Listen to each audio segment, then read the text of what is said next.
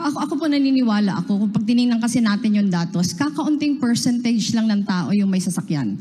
Karamihan sa mga tao walang sasakyan at nakikibaka araw-araw sa mass transportation. Kailangan yung gobyerno magbuhos ng maraming pera para sa active transport, para siguraduhin na yung mga kababayan natin meron na sasakyan sa mababang, sa mababang halaga para nakakapunta sila sa kanilang trabaho, nakakauwi sila sa kanilang mga pamilya.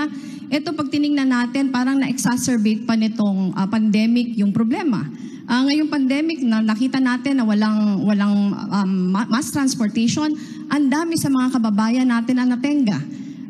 Yung pinakahuling SWS um, survey, sinasabi na mas maraming Pilipino ngayon ang gusto na magdala ng bisikleta. Pero ang, hindi handa yung mga kalye natin para sa active transport.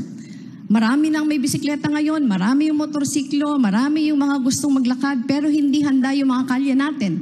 Kaya para sa akin, dapat talaga ang gobyerno, ito yung binubuhusan ng pera na ang mga tao makakapunta sa mga pupuntahan nila at the least cost na convenient sa kanila. Hindi naman sila kawawa na nakikipagsiksikan dahil hindi enough yung ating mass transport. Pangalawa, yung infrastructure dapat din magbigay ng maraming emphasis sa rural development. Kaya nagsisiksikan dito lahat. Dahil yung trabaho nandito sa Manila, pero pag mag-invest tayo sa mga kanayunan at may trabaho doon, ang mga tao may enggan yung umuwi sa kanila.